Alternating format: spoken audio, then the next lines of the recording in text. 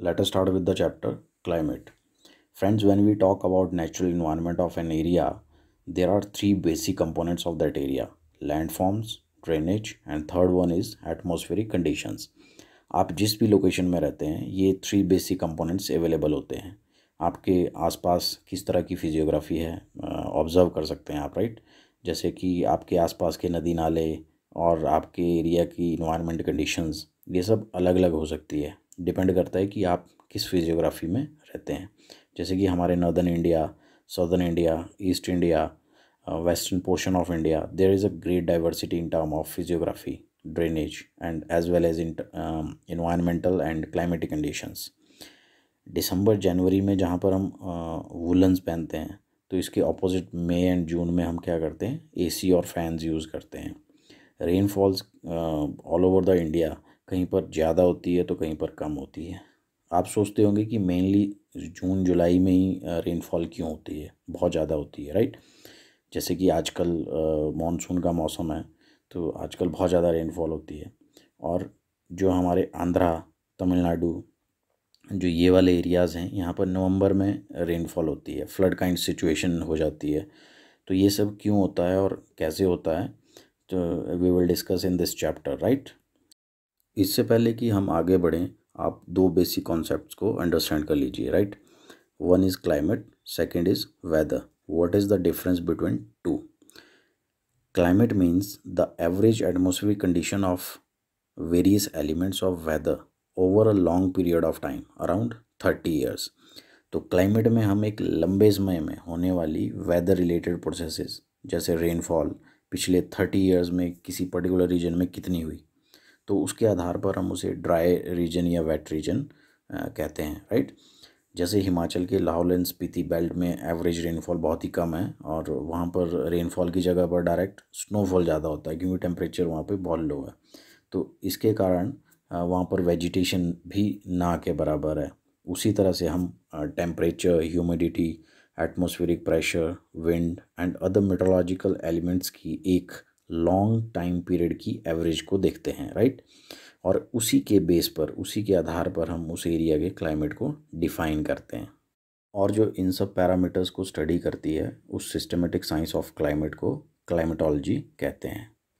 Second is weather जब हम कहते हैं कि आज के दिन गर्मी है, या मॉइस्चर है, या क्लाउडी है तो हम वेदर की बात कर रहे होते हैं।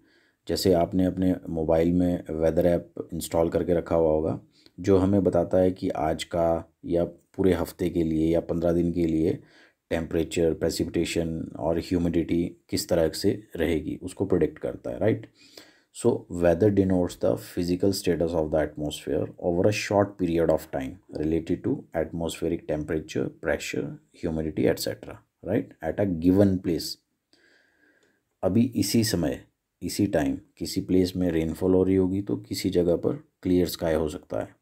तो वेदर कंडीशंस वेरी करती हैं place to place friends meteorology is the systematic science of the atmosphere relating to various physical processes involve in the lower and inner layer of the atmosphere and on the basis of generalize monthly atmospheric conditions the year is divided in season such as winter summer और rainy season right और long time observation के basis पर. World को different climatic region में divide किया गया है, जो कि आप आगे स्टडी करेंगे राइट अगर हम इंडिया की बात करें तो climate of India is described as a monsoon type.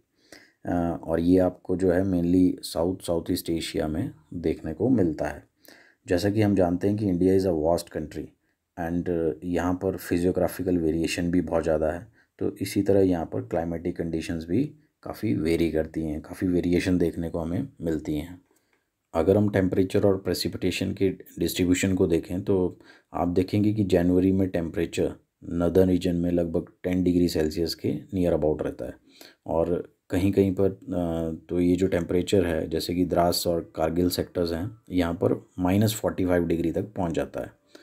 और प्लेन्स में अराउंड ट्वेंटी डिग्री सेल्सियस और साउथ में on an average twenty five degree Celsius रहता है। इस दौरान, जनवरी में राइट जो ये लाइंस आप देख रहे हैं, इन्हें आइसोथर्म्स कहते हैं। These are the lines which join the places having same temperature at a given time period और इसी तरह जो लाइंस मैप पर सेम अमाउंट ऑफ़ रेनफॉल वाले प्लेसेस को कनेक्ट करती हैं, उसे आइसो हाइट कहते हैं राइट अब आप इंडिया में डिस्ट्रीब्यूशन ऑफ़ रेनफॉल को अगर देखते हैं तो जो हमारा नॉर्थ मोस्ट रीजन है, लाहौल स्पीति, लद्दाख रीजन यहाँ पर बहुत ही कम रेनफॉल होती है, क्योंकि यहाँ टेम्परेचर काफ़ी डाउन चला जाता है और ज़्यादातर स्नोफॉल ही यहाँ पर होती है। इसके अलावा जो हमारा डेजर्ट एरिया है वेस्टर्न राजस्थान, यहाँ पर भी बहुत कम रेनफॉल होती है और जो हमारे सबसे ज़्यादा रेनफॉल वाले एरियाज़ हैं, जैसे वेस्ट कोस्ट ऑफ़ इंडिया या जो आपका मेघालय रीजन है, यहाँ पर बहुत ज़्यादा बारिश होती है, बहुत ज़्यादा रेनफॉल होती है और यहीं पर जो आपके सबसे ज़्यादा रेनफॉल रिसीव करने वाले एरियाज़ हैं, जैसे मौसिन राम, चेरापूंजी, वो यहीं पर लोकेटेड है।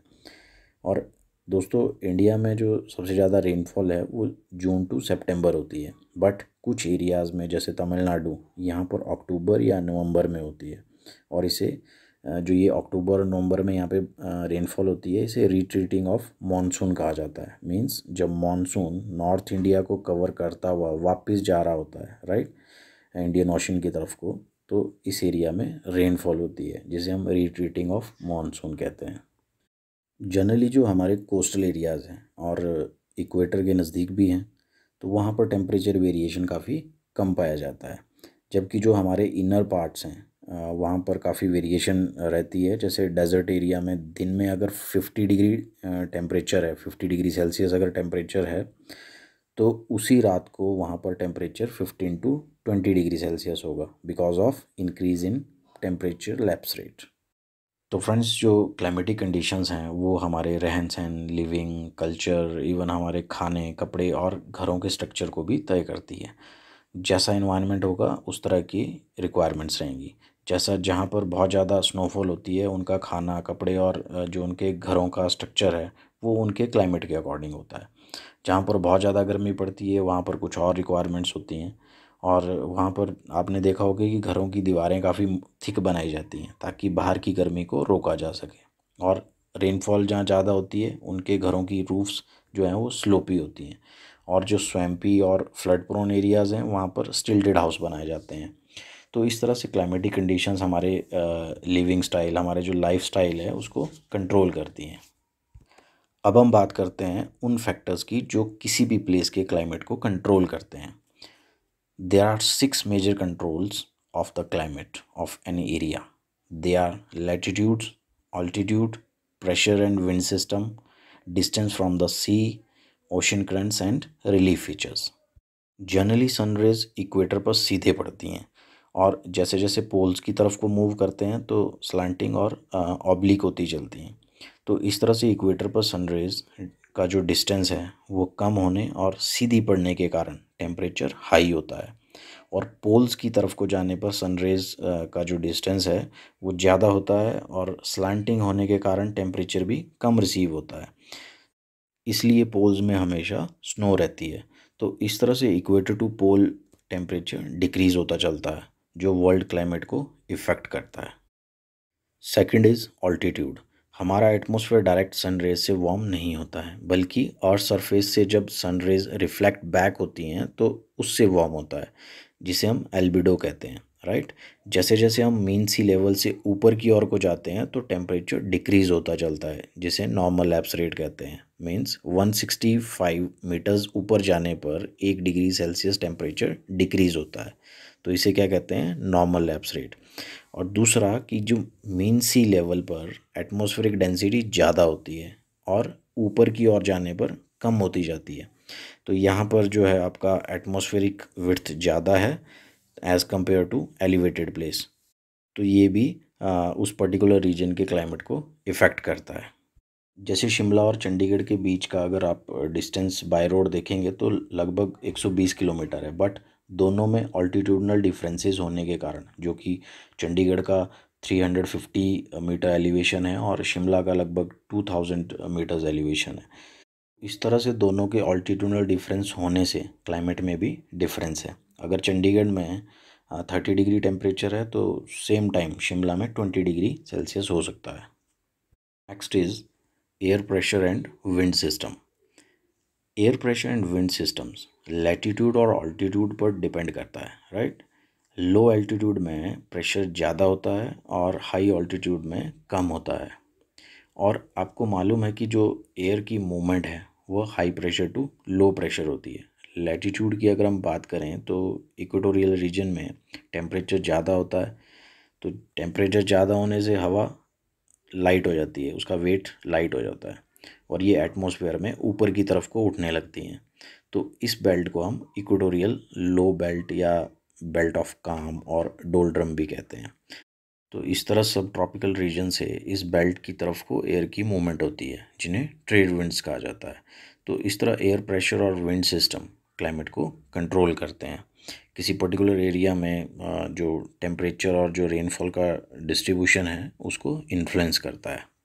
Next is distance from the sea distance from the sea also exert a moderating influence on climate as the distance from the sea increases its moderating influence decreases and the people experience extreme weather conditions तो देखिए, जो पानी का स्वभाव है कि land के comparison में वो देर से गर्म होता है और देर से ठंडा होता है। तभी कोस्टल एरियाज़ में ना ज़्यादा गर्मी होती है, ना ज़्यादा ठंड होती है। राइट? वहाँ का वेदर मॉडरेट होता है।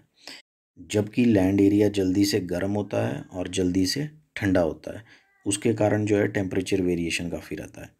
और इनर लैंड एरियाज़ में, दिन के टेम्परेचर में और रात के टेम्परेचर में काफ़ी वेरिएशन होती है। This condition is known as continentality that is very hot during summer and very cold during winter next is ocean currents ocean currents क्या होती हैं? ओशनिक वाटर की जनरल मूवमेंट जो कि एक डिफाइंड डायरेक्शन में होती है उसे ओशन करंट्स कहते हैं।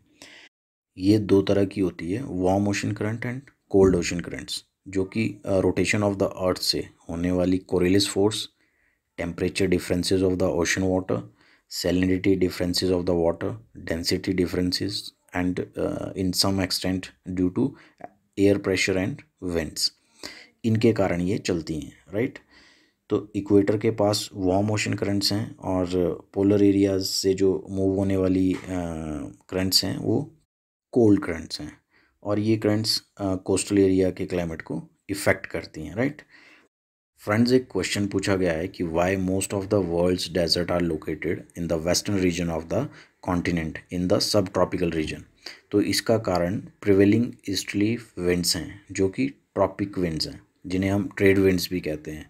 जब ये विंड्स वेस्टर्न साइड में पहुँचती हैं तो ड्राई हो जाती हैं और रेनफॉल नहीं हो पाती। इससे ये वाला जो पोर्शन है, वो डेजर्ट बन गया है राइट तो ये एक जनरल सा कॉन्सेप्ट है। इसके अलावा उस एरिया की फिजियोग्राफिकल कंडीशंस पर भी डिपेंड करता है। Is relief relief also plays a major role in determining the climate of a place जैसे हाई माउंटेन्स विंड्स के लिए बैरियर का काम करते हैं जिससे विंडवॉट साइड में तो रेनफॉल हो जाती है और जिसे हम ओरोग्राफिक रेनफॉल भी कहते हैं जबकि इसके ऑपोजिट लीवॉट साइड में रेनफॉल नहीं हो पाती। जैसे मानसून विंड्स जब इंडियन ओशन से चलती हैं तो फुल ऑफ़ मॉइस्चर होती हैं। तो यहाँ पर जो वेस्टर्न घाट है जो ये सिहादरी माउंटेन रेंज है ये एज ए बैरियर का काम करता है और जिससे कि वेस्टर्न साइड में तो बहुत ज़्यादा रेनफॉल होती है और इसके ऑपोजिट साइड में कम रेनफॉल होती है या रेनफॉल नहीं भी हो पाती है। तो इस तरह से जो रिलीफ है, वो भी एक क्लाइमेट को कंट्रोल करने वाला फैक्टर है। डिपेंड करता है कि वहाँ का रिलीफ का जो लैंड कवर है, वो किस तरह से है। ओपन है फॉरेस्टेड है या फिर अंडर वाटर है राइट तो इस तरह से ये सभी जो पैरामीटर्स हैं, वो किसी भी पर्टिकुलर एरिया के क्लाइमेटिक कंडीशंस को कंट्रोल करते हैं। तो फ्रेंड्स नेक्स्ट पार्ट में हम डिस्कस करेंगे कि इंडियन क्लाइमेट को कौन कौन से फैक्टर्स इन्फ्लुएंस करते हैं right thank you have a nice time